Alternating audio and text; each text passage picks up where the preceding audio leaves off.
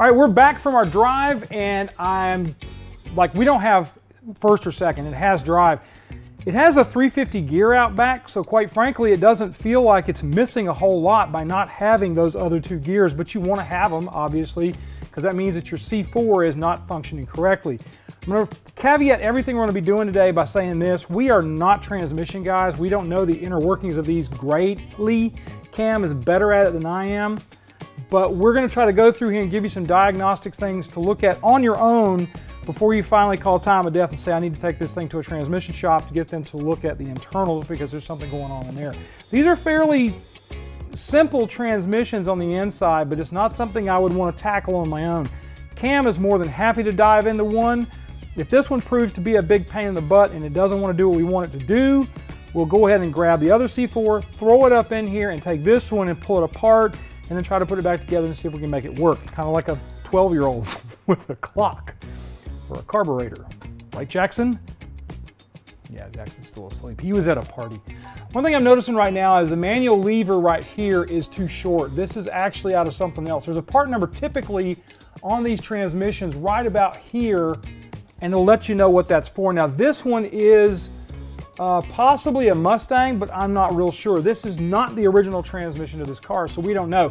And a lot of people assume that you can just plop a C4 from a 66 Mustang into a, a later Torino or whatever, and it's gonna be fine. But that's not the case. You do have specific manual shift levers for these cars. This one should have a Torino shift lever, and it's like a DO BAP, I think, uh, part number on it.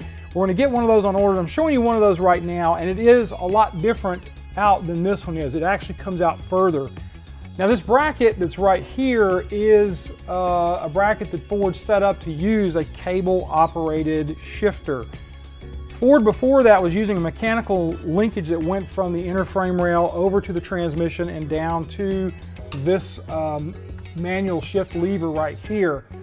This is a completely different setup. This is a correct bracket for a C4, but the mounting procedure that's been done to it, I'm pretty sure, I'm pretty sure that's not right. Uh, there's a big kink in the cable, which tells me that the thing may need to be somewhere else on the transmission. I'm showing you a diagram right here from the Ford service manual that shows that actual bracket and the mounting, but the transmission visual on it is so sketchy, I can't tell if that's how it's supposed to be. If you know how a C4 and a 74 on up Torino would have to be, I think 72 and 73 would be the same thing as well. I don't think there's any real difference in that. Uh, let me know, send me a couple photographs on it. I'd like to see what you've got. Um, but that's a problem because it's not necessarily shifting where it's supposed to shift because of how this is set up. We don't know that that's our issue, but uh, we're gonna kind of keep moving through this thing and, and talking about what we have. All right, so the next thing to look at is our modulator valve. Now this isn't exactly going to create our problem uh, with not shifting out of third, but this will affect shift points, shift firmness, and overall drivability of the transmission. This one is a dual vacuum line, um, and I believe it is a red stripe. This is used primarily for vehicles equipped with EGR. Um, you can get adjustable ones, different color stripes. Each one of them has different characteristics on how it reacts to vacuum signal. Um, so do your own research. You can also get an adjustable one, which is probably the best thing for you. If you like playing, if you like tuning your car in, that's the adjustable one's probably the way we'd go. But I don't believe this is our problem. I believe our problem is either in the shift linkage uh, putting it into the wrong gear selection or inside the transmission, something's not allowing it to come out of third, which I believe would be the valve body. Um, but that's for further on down the line. But that's the modulator. Isn't it cute? All right, so we're gonna, Cam can't remember and I can't remember if we checked the uh, uh, transmission fluid on this thing whenever we bought the car. So we're gonna check it again. So you, with these kind of cars, you wanna have it, you have to start it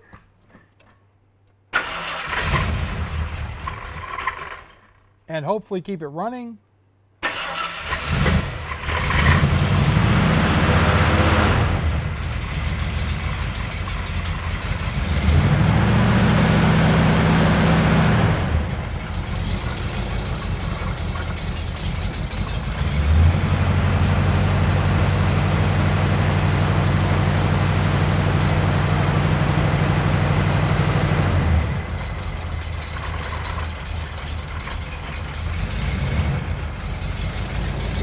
Exhaust leaks are better, they're not great.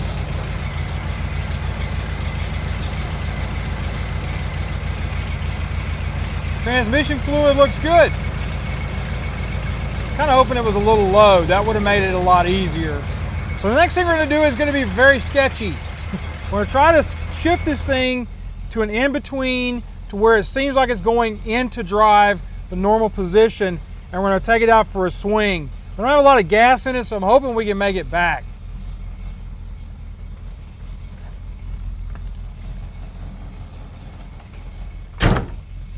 We'll drop the hood.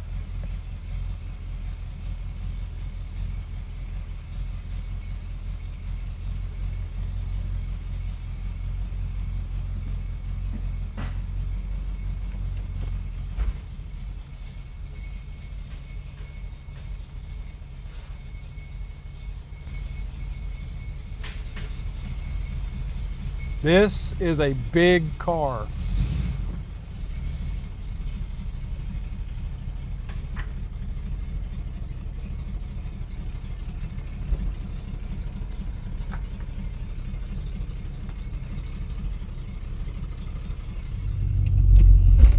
Reverse,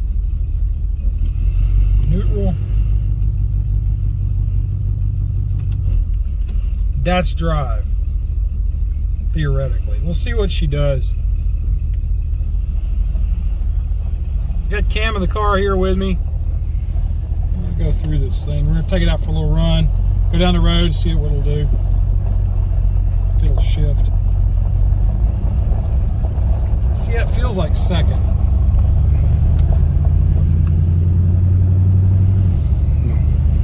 Got to shift that time.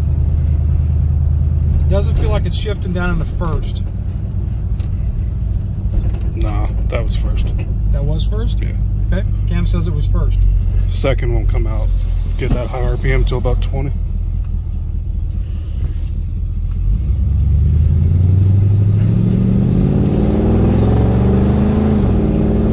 Second?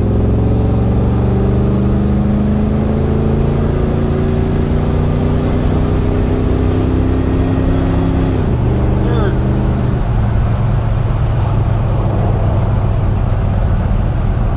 Okay, so he was saying that there was a shift problem. I honestly think it is a shift selector problem.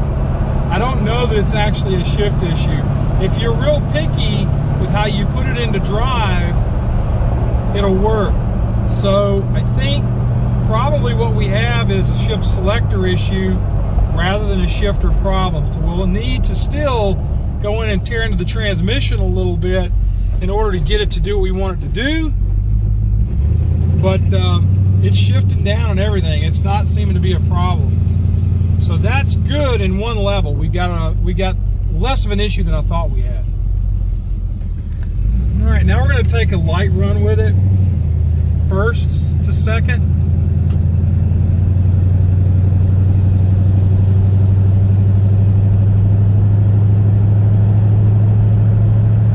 It's a long shift. It should already be in third by now.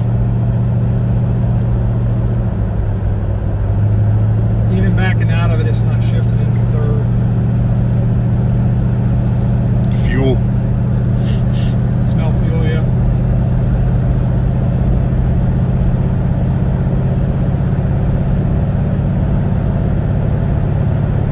It took to 3,000 RPM for it to go into third. We're at 2,500 right now, and it's still not in third. So, what is what does Cam think that would be? That sounds more like modulator to me. Okay. That uh, because the modulator is going to change the shift point and the shift aggression when you're putting load on it. It, I mean that that was about 25 to 50 percent throttle the first That pass. much. Yeah, the first pass, I wasn't all the way on the floor, but I was hot. Yeah, so that shift timing was about right, but there it should have shifted way earlier. Yeah, it should have been. It should have floated through the gears quick. Yeah, it did not. So, do you think we should just put an earlier modulator with a different? Yeah, I'd go to an adjustable or just a different uh, factory modulator.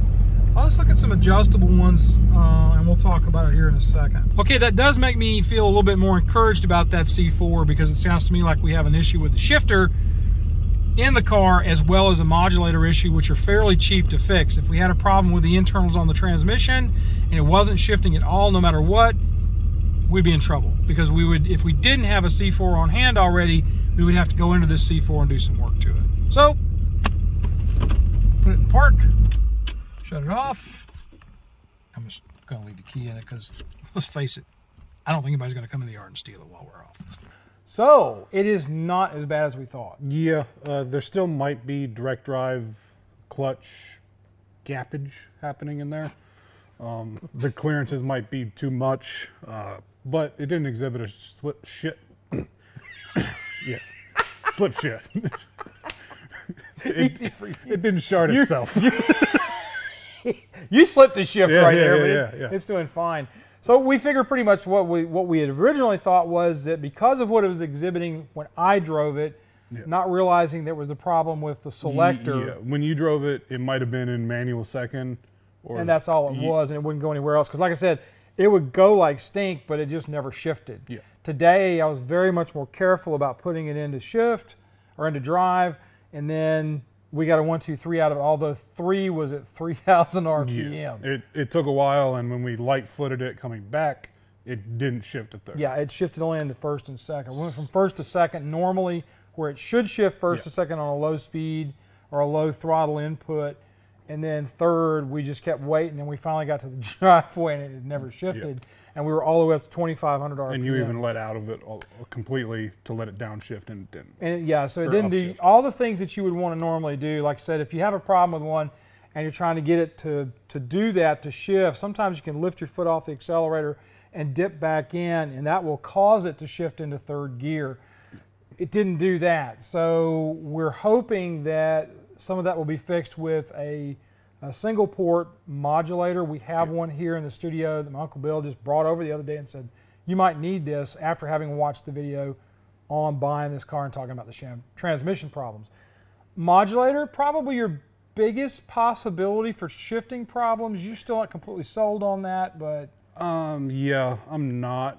Um, because when you were the- saying, all, all the shift points should be wrong then. If the, Yeah, mod, yeah, if the modulator's messed up, everything it should either shift super super soft or super super hard and late.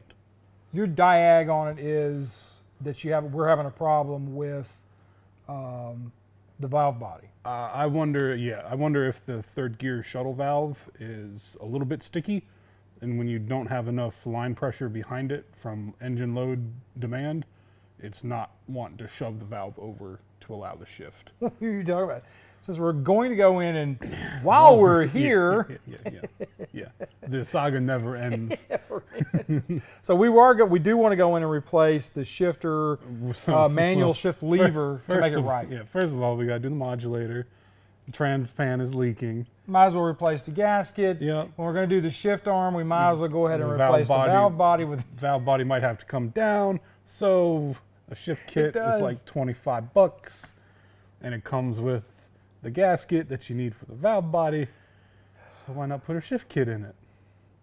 And you don't have to get a fancy one that's like race and all that stuff. But yeah, yeah.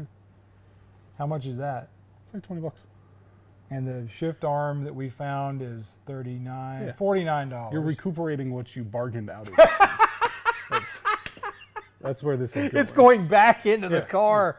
Yeah. ah, I'm still happy. I, I still like what I got. Yeah. Even with the changes that we're going to be making and some of the things that we're going to be doing, I'm not unhappy. Yeah, even as it is right now, you could probably drive it. Just Well, I little, could, little yeah. bit heavy foot, you'd and have to- shift into third. And now it's starting to exhibit a carburetor problem. yeah, yeah, that's another thing. yeah, It's starting to fight back. yeah, yeah. It's Let me die! regretting leaving that carport. That easy life. It Yeah. just sat there Yeah. all the time. Hey, look, they're taking the Yeah, LTD you're out. That's sanding nice. on it. You're making it shiny. It's getting mad. yeah. So you were treating it nice. It's acting up. Uh, one real quick thing before we go. We just got to do Jib crane in, or not got it in, we actually built it a couple of months back and it's working magnificently. If you're a Patreon guy, go out and check it out. It's kind of cool. Uh, Darren's going to be putting a video up of us basically working on the jib and getting it set up. So Patreon guys, go check that out. I guess that's it. Though. We are now officially at the end of the video Yeah. because we've done everything we could do on that. And I let him loose underneath the car and he found other things. Yeah. A lot of bushing. It's overall though, it's very clean.